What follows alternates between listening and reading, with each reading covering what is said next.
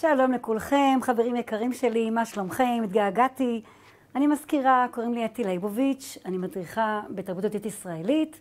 היום אנחנו הולכים ללמוד את ההמשך של... רגע, רגע, רק דקה, יש פה איזשהו מכתב. רגע, מה זה פה המכתב הזה? וואו, זה ישן, אני חייבת פה מגדלת, תסלחו לי רגע. אני אשתף אתכם, רגע, אני כבר אשתף אתכם. בואו אני אשתף אתכם, בואו תעזרו לי לקרוא ביחד. אני חושב שאפשר לקרוא לי חבר לעת צרה ושמחה. בעת צרה אתה פותח אותי וקורא מתוכי, אתה תמיד מופיע כל כך נרגש, ואני מאוד מבין את רגשותיך ואת צערך. אתה מתאר מה אתה רוצה. ביקשת, התחננת, ולפעמים כשאתה שמח, אתה גם פותח וקורא בי.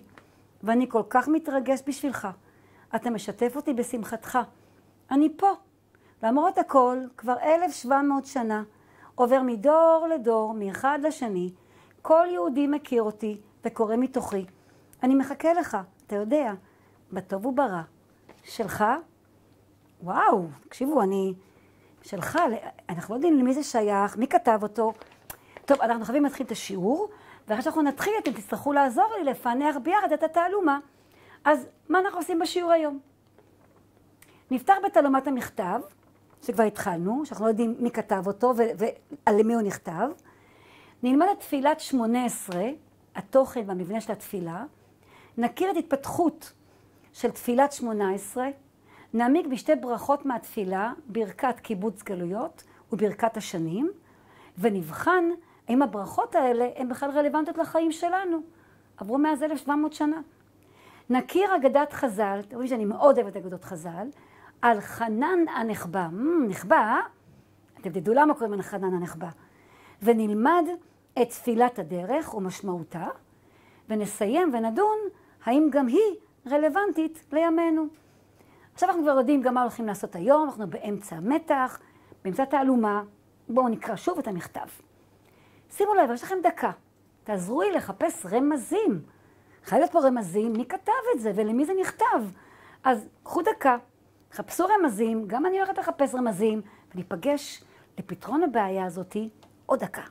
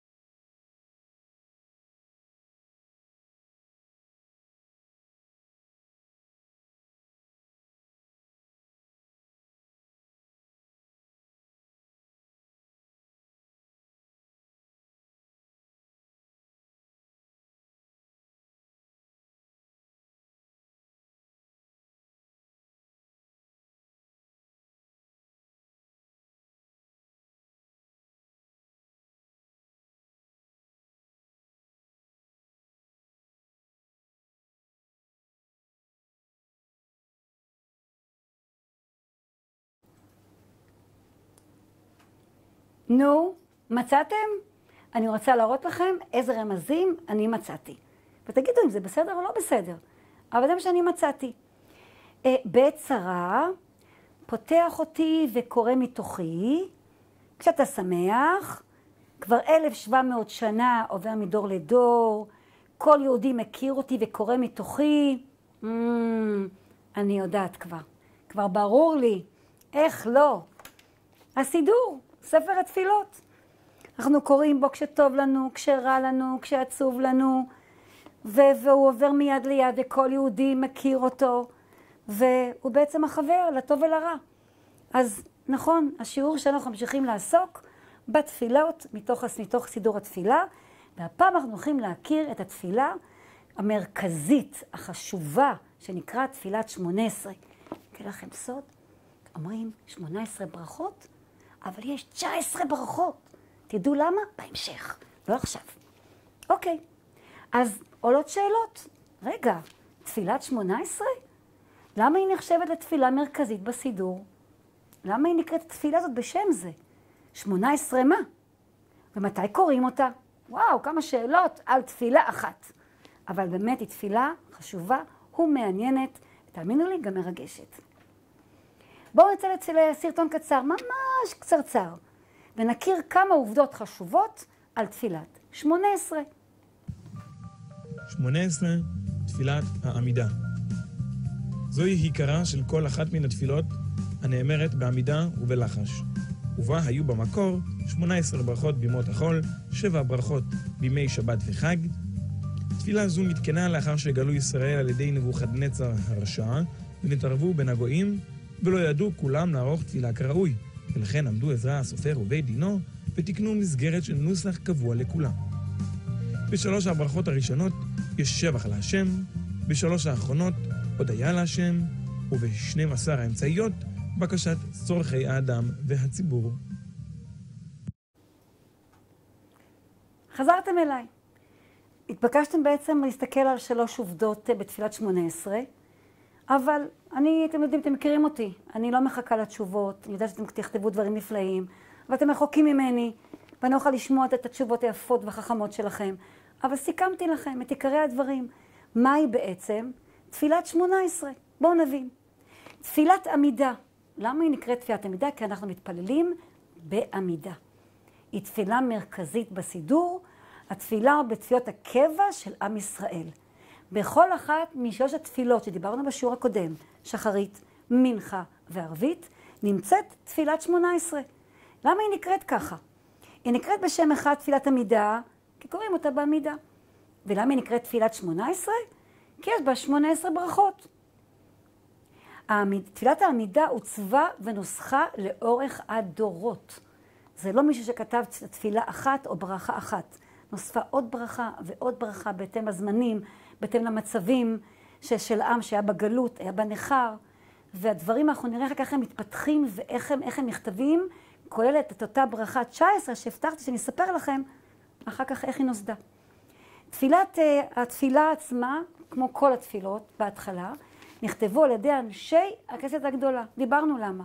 בית המקדש נחרב, אין אפשרות לבוא לעבוד את האל באמצעות קורבנות, אז uh, התפילה מחליפה, מקרבת את האדם אל האל, היא מחליפה את הקורבנות. תפילת שמונה עשרה נוסחה על מנת לאפשר נוסח קבוע, תפילה משותפת עבור העם היהודי. ולא משנה איפה הוא נמצא או באיזה תפוצה, ניכר. כולם קוראים את אותה ניסוח, כולם קוראים באותה שפה, בשפת הקודש. בתפילת שמונה עשרה, כמו שסיפרתי לכם, יש תשע עשרה ברכות. ישנה ברכה אחת נוספת, שנוספה לאחר חורבן בית המקדש, והיא עוסקת בשובר אויבים ומכניע זדים, אנשים רעים. למה היא נאמרה? היא בעצם התחילה כקללה. כל האויבים שרצו לשבור את עם ישראל, ורצו שימיר את דתו, או שרצו להגלות אותם, זאת הייתה תפילה סודית, שקטה, שרק היהודים ידעו. אבל כדי שלא יגידו שזאת קללה, אמרו שזאת ברכה. אבל תחשבו ששלוש פעמים ביום עומד היהודי באשר הוא עומד בתקופות הקשות אז, ואומר את הקללה הזאת, שה, שהאל, האדם המאמין, מאמין שהאויבים האלה וכל הזדים, האנשים הרעים האלה שרוצים להחריט, רוצים להשמיד אותנו, שאלוהים יטפל בהם בדרך שהוא יודע לטפל בהם. תפילת עמידה אה, בנויה משלוש ברכות שעוסקות בברכות של שבח. שבח כמובן לאל, על התכונות של האל, ואנחנו נתרכז בעיקר בחלק המרכזי. 13, בעצם 14, בקשות. יש ברכת הדעת, נדבר עליה, ברכת התשובה, ברכת הסליחה, קיבוץ גלויות, ברכת השנים, וואו, איזה שמות, איזה ברכות. אבל מה זה הברכות האלה? בואו נראה. 13 הברכות הן כולן בקשות. הבקשות הן בנושאים שונים. הבקשה הראשונה עוסקת שהאל ייתן לאדם דעת, חוכמה ובינה. דעה, חוכמה ובינה הן דרגות שונות של יכולת חשיבה של האדם. דעת אז האדם יודע. יודע מה זה תפוח, הוא יודע מה זה התפלל, הוא יודע אה, לקרוא תמרורים. חוכמה, הוא לא רק יודע, הוא גם יודע להבין למה הם התכוונו. הוא גם יודע להסיק מסקנות. הוא בינה שהוא יודע גם להבין את החומר, גם להסביר אותו, גם להסיק מסקנות וגם אפילו ללמד אחרים. מדברים על בקשה של האל שמבקשים, האדם המאמין מבקש, תעזור לי לשמור שאני תמיד אוכל להיות, להיות מה שנקרא ולקיים את המצוות שלך, להתקרב לתורת האל. בקשת הסליחה, אנחנו לא מושלמים, אנחנו בני אדם לא מושלמים, מבקשים מהאל את הסליחה. יש לנו בקשה שנקראת בקשת גאולת ישראל, שתמיד כשעם ישראל יהיה במצב של, של מצוקה, של קושי, תעזור, תגאל אותנו, תציל אותנו. יש ברכת הרפואה. גם, גם, זאת גם בקשה אישית, וזו גם בקשה לאומית. יש לשנים המבורכות, אשר ביבול, בטל ובגשמים. יש בקשה לקיבוץ גלויות. עוד מעט אנחנו נלמד על קיבוץ גלויות, ואני אומרת לכם דברים מאוד מעניינים. יש גם בקשה שבית המשפט יהיה באמת בית דין לצדק. להשמדת האויבים דיברנו, זאת, זאת, זאת הקללה ברכה, זוכרים אותה? לשמירת הצדיקים, לבניין ירושלים, שאל ככה מקווה, מקווה, אדם המאמין, ישוב וישכון בירושלים. וכמובן, מאמינים לביאת, אה, לביאת משיח בן דוד, מבקשים ישוע. והברכה האחרונה שתסכם את הכל, שאלוהים ישמע את כל התפילות שלנו. שלוש הברכות האחרונות הן ברכת העבודה, הן ברכת ההודאה וברכת השלום. בואו עכשיו באמת נסתכל כרגע בכל הברכות שדיברנו. יש לנו 18-19 ברכות, אפשר למיין אותן בעצם לשני תחומים שונים. ברכות שעוסקות בצרכים אישיים של המתפלל, וברכות שעוסקות בצרכי הציבור ועם ישראל. ויש כאלה שהן מתאימות גם לברכה אישית וגם לברכה למען עם ישראל. יש לכם באמת דקה אחת, ככה להסתכל, לחשוב, למיין את הברכות. מה אם, אפילו אחת, לקחת לכל, לכל אחת מהסוגים ברכה אחת. ברכה אחת שמתאימה לצרכים אישיים, או ברכה אחת שמתאימה לצורכי ציבור, וגם וגם. יש לכם דקה אחת, אני יודעת, אתם תעודו באתגר, אני מחכה לכם פה.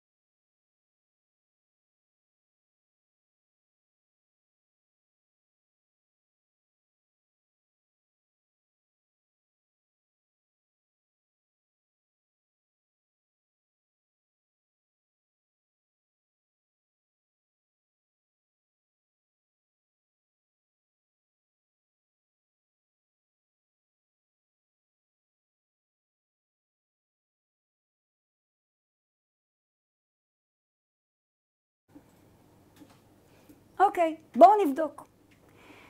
אותן ברכות שמתאימות לצרכים אישיים של המתפלל.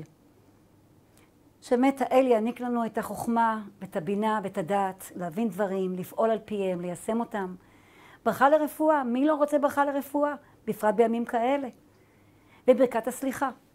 אמרנו, אנחנו לא אנשים מושלמים, אנחנו עושים טעויות, אז סלח לנו, אנחנו רק בני אדם. ברכות לצורכי עם ישראל.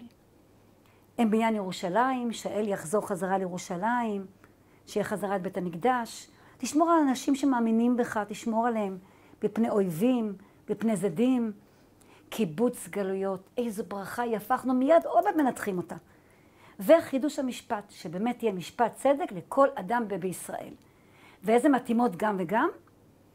תבקש את התפילות שלנו.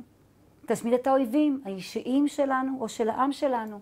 ושנים מבורכות, שתהיה לי פרנסה, אבל גם שאנשים אחרים ובעם יהיה גם גשם ויהיה יבול טוב לכולם, שכולם ייהנו, שיהיה מצב מבורך לכולם.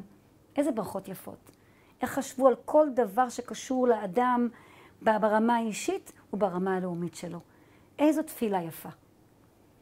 אילו עוד ברכות או בקשות הייתם מוסיפים לחלק זה של תפילת שמונה עשרה, אבל ברוח התקופה של ימינו. זה מאתגר. עצו ל-30 שניות, ואני כבר מתה לשמוע את התשובות שלכם.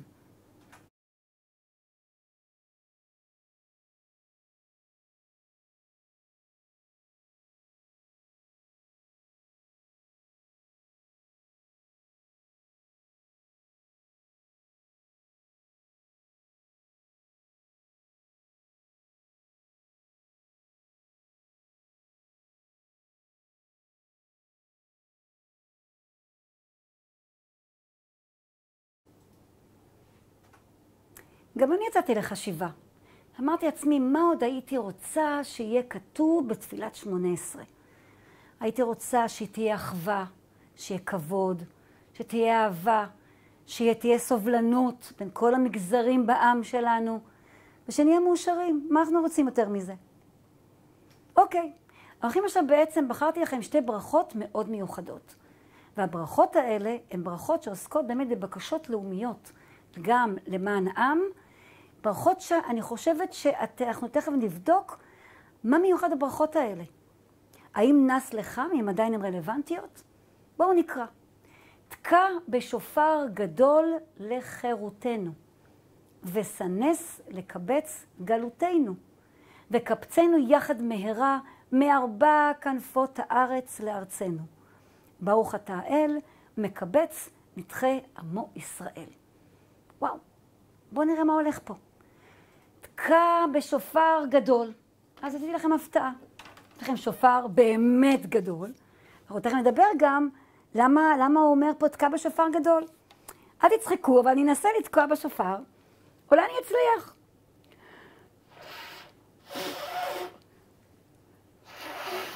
חשבתי שזה קל, אה? אבל זה ממש ממש לא קל. אז אני ניסיתי, ננסה להזדמנות אחרונה, אולי. לא הולך. בכל מקרה, זה השופר. השופר הוא בעצם, הוא כלי נשיפה, חלול של חיה אמיתית, שזה או אייל או אנטילופה, במקרה הזה זה שופר של אנטילופה, שבימי קדם הוא שימש כלי להשמעת מוזיקה ומנגינה, לעבר מסרים ולהתראות מפני סכנות. גם מבחינת מלחמה היו מתריעים בשופרות. תקע בשופר גדול, פנייה לאל, אם תתקע בשופר גדול, הקול שלו יהיה הרבה יותר חזק, עד שכל היהודים שנמצאים בגלות, גלות, גלות, היום כבר אין גלות. היום יש תפוצות. פעם כשהיו מגלים את עם ישראל, ועם ישראל נדד במשך 2,500 שנה בעולם, לא יכל, לא היה לו את הרשות או היתר לעלות לארץ ישראל. הוא היה בנכר ובגלות. והיום, מאחר שכל יהודי היום בעולם, בכל מקום שהוא חי, או מתגורר, והוא יכול לעלות לארץ ישראל, לכן אנחנו אומרים היום יהודי התפוצות. זה אחד הדברים שהם באמת אה, שונים זה מזה. אז מה אומרת הברכה היפה הזאת? בואו נשמע לפני כן את תקיעת השופר. איזה קול מיוחד יש לשופר. בואו נקשיב, ממש, ממש לקולות בודדים.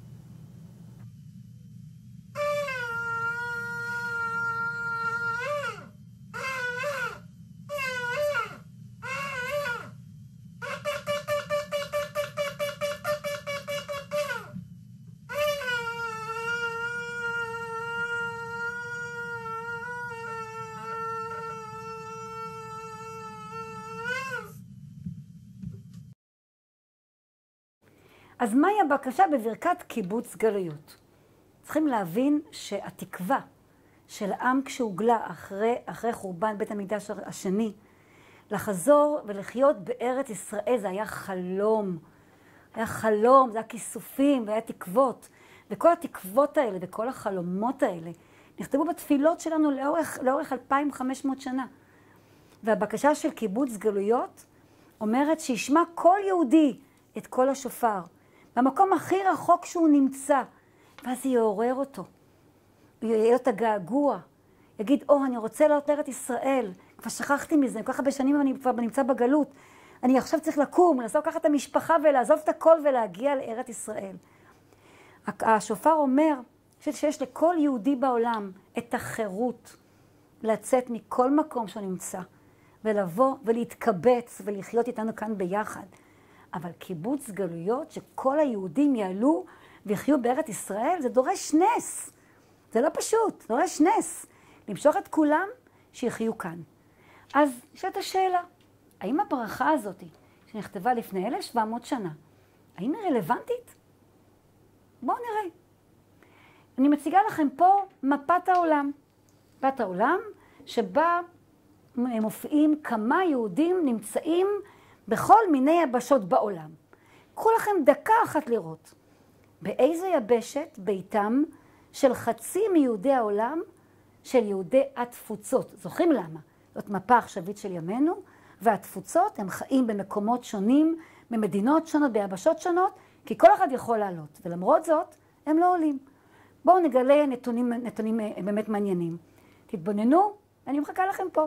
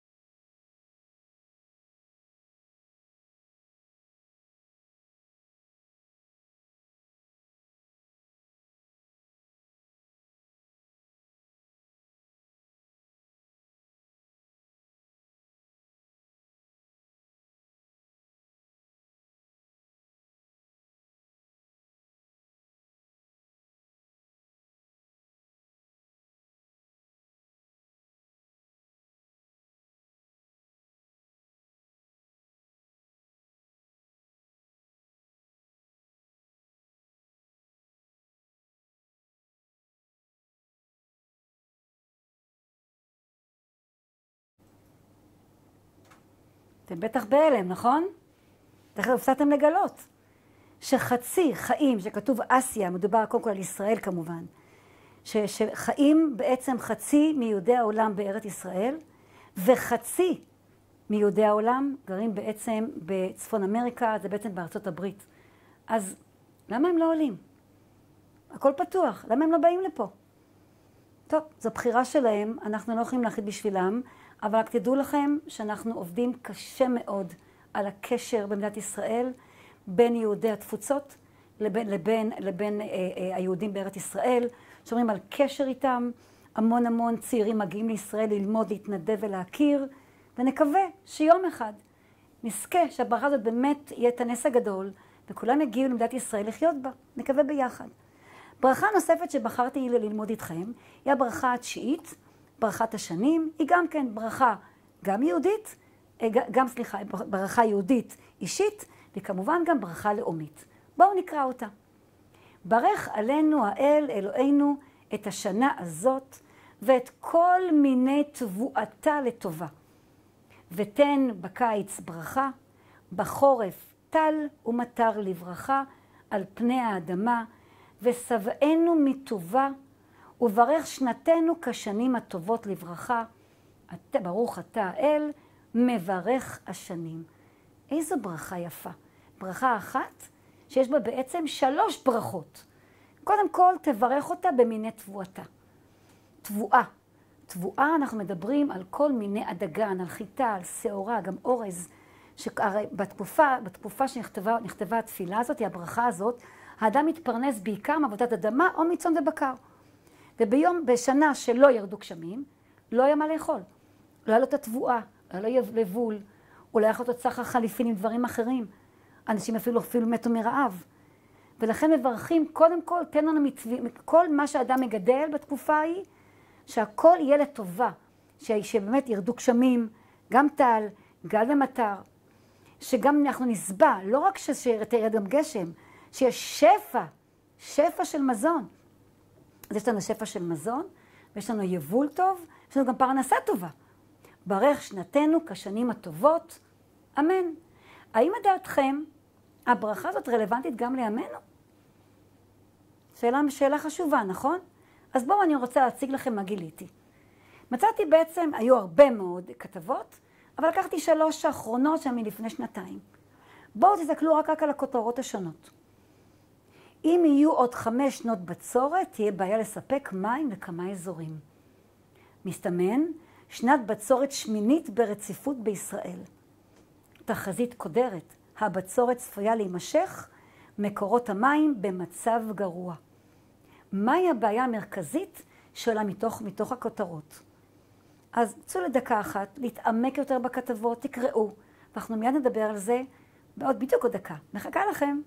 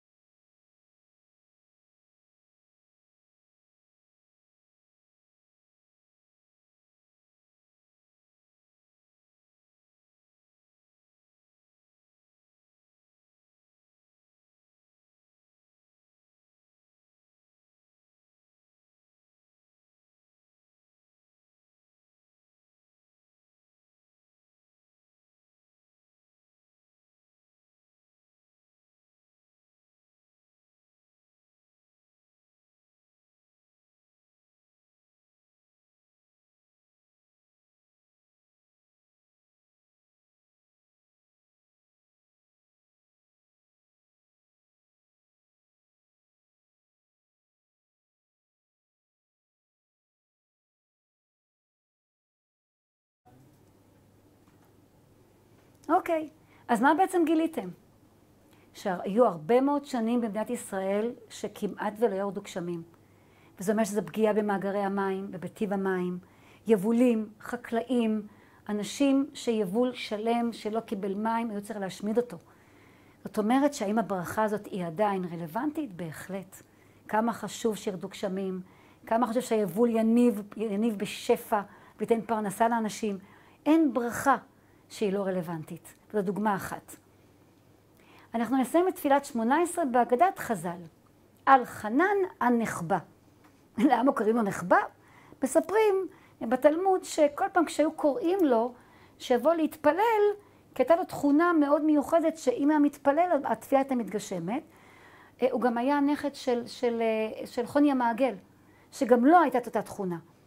כשקוראים לו, היה נכבה על הכלים, אמר, טוב, אני, אני, אוקיי, בסדר, מה, מה צריך? היה אדם נורא עניו, עד נחבא. בואו נראה איך זה סוגר לנו את, את תפילת שמונה עשרה, וזה סוגר לנו גם את תפילת השנים.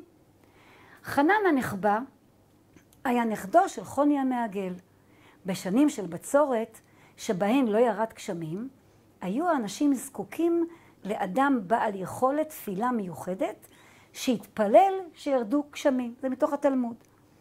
אז היו האנשים שולחים את הילדים הקטנים לביתו של חנן הנכבה, והיו מבקשים ממנו, אבא, אבא, תן לנו גשם.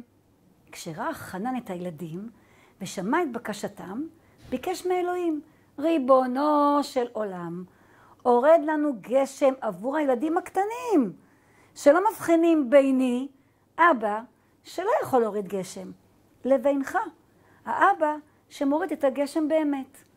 ומיד החלו גשמי ברכה לרדת. איזה אגדה יפה. אוקיי, שלוש שעות קטנות על האגדה הזאת. מה הייתה התכונה המיוחדת של חנן הנחבא?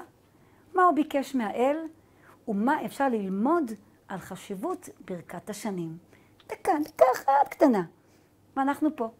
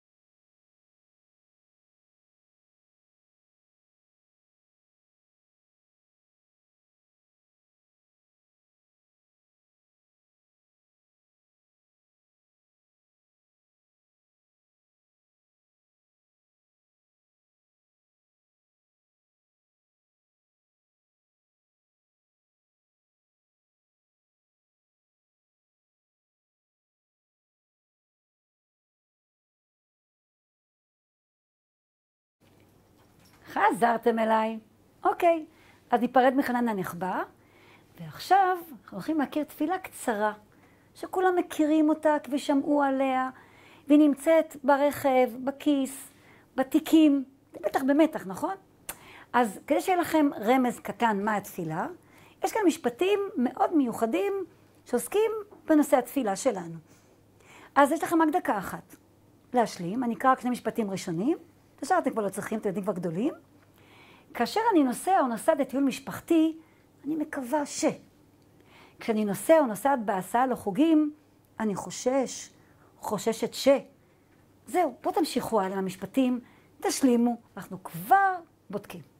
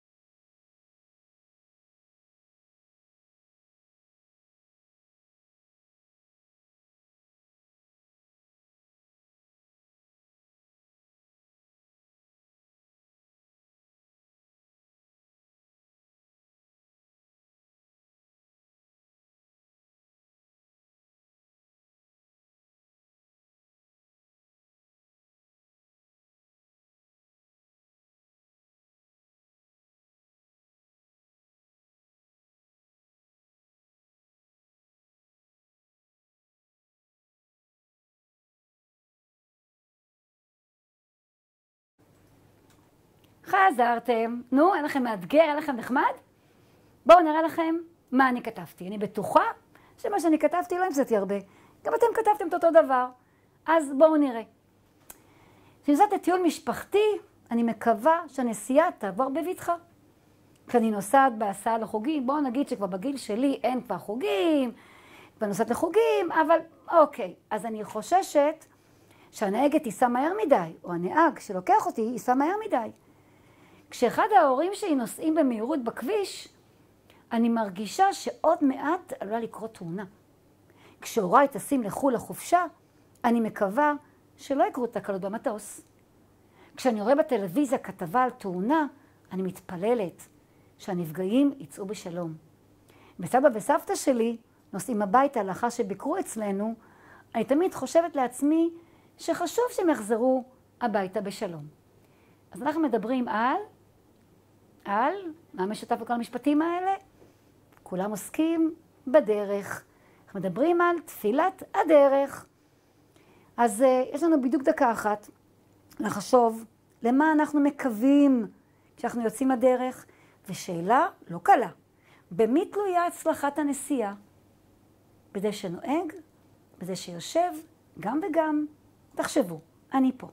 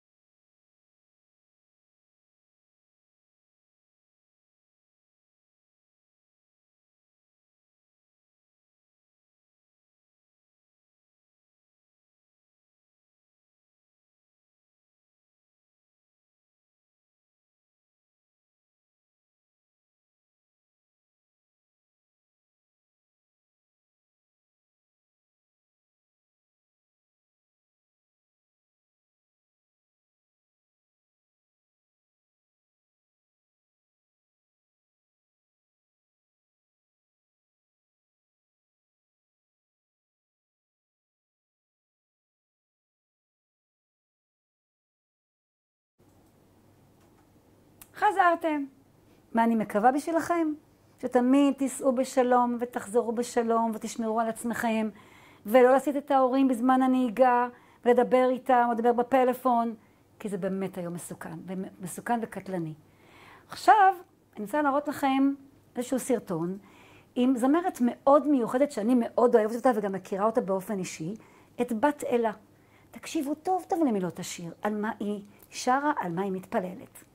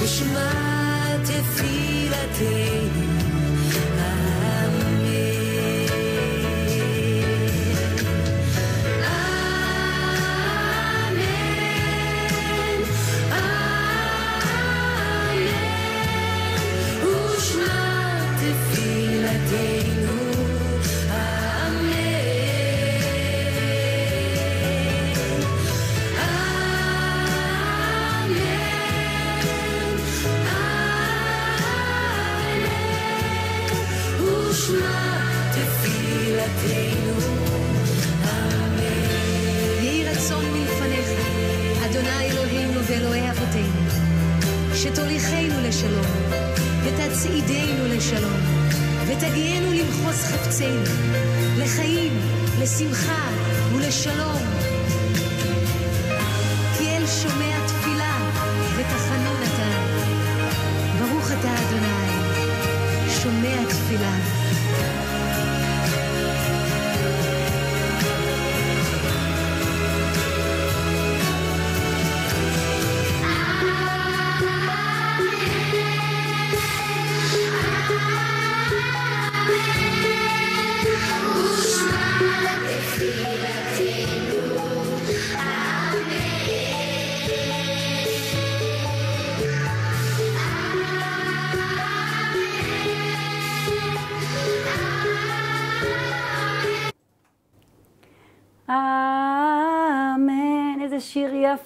יכולה לשמוע אותו שעות, אבל מה לעשות, אנחנו צריכים להתקדם בשיעור שלנו.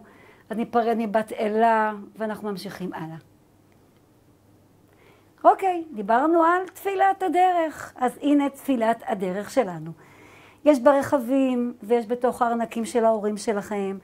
אנשים מאוד מאמינים בתפילת הדרך, אבל אף פעם לא פתחו וקראו מה באמת כתוב בתפילת הדרך.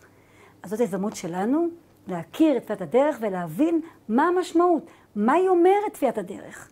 אז בואו נכיר את התפילה. פתיחה של כל ברכה, שכל תפילה, לרוב היא מתחילה ביהי רצון מלפניך, אדוני אלוהינו ואלוהי אבותינו.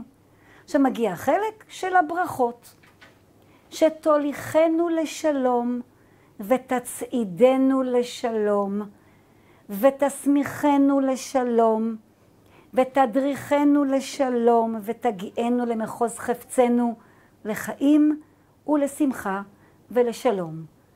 ואם הוא ירצה מיד לחזור, יש להגיד, ותחזירנו לשלום.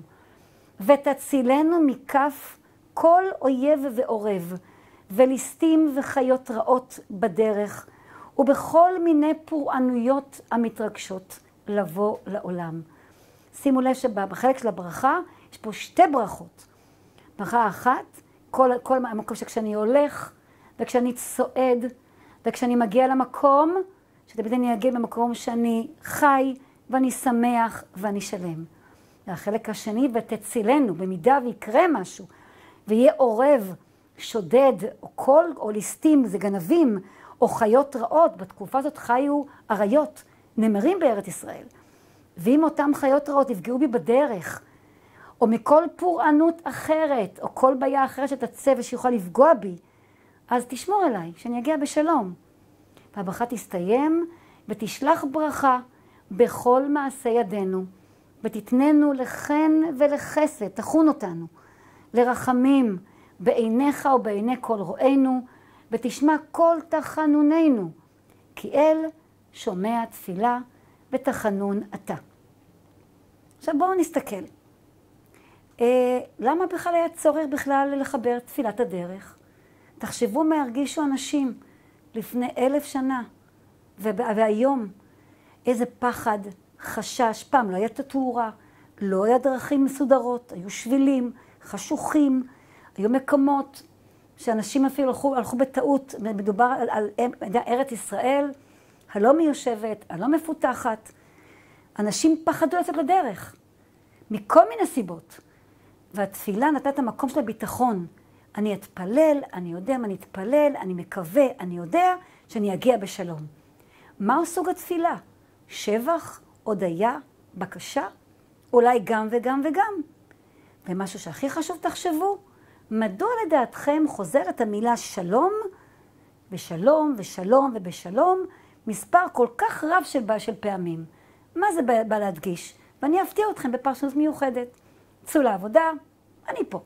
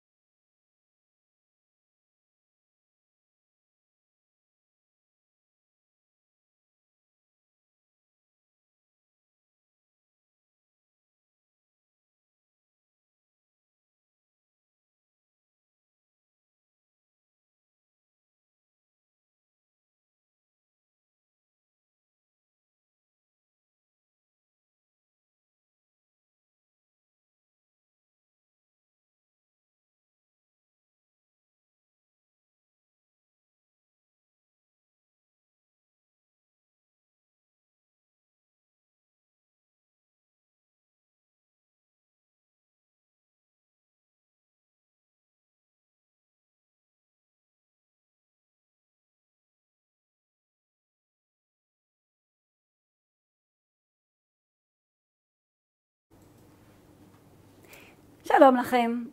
קראתי המון המון פרשנויות לגבי המילה שלום, אבל מצאתי פרשנות אחת מאוד מאוד יפה. שלום מהמילה שלם. כשאני יוצא, כשאני יוצא לדרך ארוכה, אני רוצה לחזור לא רק שלם בגופי, שלא יפגעו בי, שלא אה, לי מכה, שאני לא אפצע, אלא גם, גם, גם שלם בנפשי, שלא יעליבו אותי, שלא ישפילו אותי, שלא יפגעו בנפש שלי. אני רוצה, רוצה לחזור שלם כמו שיצאתי מהבית, ככה אני רוצה גם לחזור. גם בתחושה, גם ברגשות שלי וגם בגוף שלי. איזה יופי של תפילה. ואמן שכל פעם שאנחנו נצא מהבית לכל מקום שאנחנו נרצה, שנחזור שלמים, גם בגופנו וגם בנפשנו. אז האם היא תפילה רלוונטית? האם היא רלוונטית גם לימינו? את התשובה אתם יודעים וגם אני יודעת, לצערנו מאוד. אנחנו שומעים יום-יום על תאונות קטלניות עם מכוניות, עם הולכי רגל, אופנועים ואופנועים ורוכבי אופניים, לצערנו יום-יום, שעה-שעה. אבל נתפלל ונקווה שיום אחד התפילה תהיה לא רלוונטית. הלוואי ואמן. אני רוצה להראות לכם תפילה חדשה. אתם לא מכירים אותה, היא גם לא כתובה בסידור. היא נקראת תפילת הדרך לנהג ולנהגת. חשוב לי להגיד שהיא לא תפילה שהיא מחליפה את תפילת הדרך. משהו כן, אם אחד ההורים שלכם עכשיו מקשיב לשיעור שלי, אז חשוב לי להגיד שתפילת הדרך של חז"ל, היא עוסקת שאדם יוצא אל מחוץ לעיר, למקום רחוק. ותפילת הדרך לנהג והנהגת, היא תפילה שאומרים אותה כשהולכים ממש אפילו נסיעות קצרות. להביא את הילד לחוג, קופצים לבקר את אחד מהמשפחה, ולכן הן משלימות זו את זו. הדגש לתפילת הדרך הזו, היא עוסקת באחריות ההתנהגותית שיש לכל נהג ונהגת בנסיעה. בואו נקרא, איזו תפילה מיוחדת ויפה. יהי רצון מלפניך, אדוני אלוהי ואלוהי אבותיי, שתחדיר להכרתי, למחשבה שלי, את גודל האחריות המוטלת עליי. איזו אחריות? בואו נקרא. לשמור על החיים ועל שלמות הגוף שלי, של הנוסעים עמי ושל כל אדם בדרך. עזור נא לי שלא אסיח דעתי מנהיג, מהנהיגה שלי אף לרגע.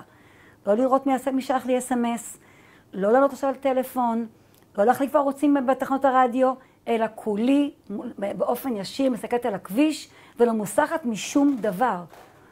תן בליבי לנהוג תמיד כחוק, מתוך התחשבות בזולת, באחרים, בסבלנות ובשליטה עצמית, ולא מתוך בהלה, להגיע מוקדם ומהר ליעד. שמור נא עליי ועל כל הנוסעים בדרך זו. בתוך שאר, בתוך שאר הולכי הדרכים בישראל, אמן. מהן הבקשות שהנהג לפני, לפני, לפי הנסיעה שלו? במה היא שונה מתפילת הדרך שאנחנו כבר מכירים? אנחנו כעיקרון כבר ענינו על השאלות האלה. לכן, מי שרוצה יכול לזכור ולעשות את זה בהמשך. אנחנו ממשיכים, מגיעים כבר ממש לסוף הסיום של השיעור שלנו. מטלת הבית. יש לנו משימה ממש יצירתית, שאני בטוחה שאתם תעופו עליה. שימו לב. נסחו מחדש את תפילת הדרך ברוח התקופה שלנו. מה הייתם משנים או מה הייתם משמיטים בתפילה? אילו סכנות הייתם משמיטים או משאירים או מוסיפים בהלימה לתקופה שלנו? תנמקו. אילו בקשות הייתם מנסחים בתפילה ולמי הייתם מנסחים אותן? הסבירו. אז זהו, יש לכם מטלה יצירתית שמסכמת את כל השיעור שלנו. ואני רוצה לומר לכם, כמו תמיד, שללמוד איתכם ביחד זו חוויה נפלאה ומעשירה ומעצימה אותי. מקווה שלמדתם ונהניתם כמוני. אוהבת אתכם, תשמרו עצמכם בתפילות האישיות, תיזהרו בדרכים, ואני פה עד השיעור הבא. אז ביי.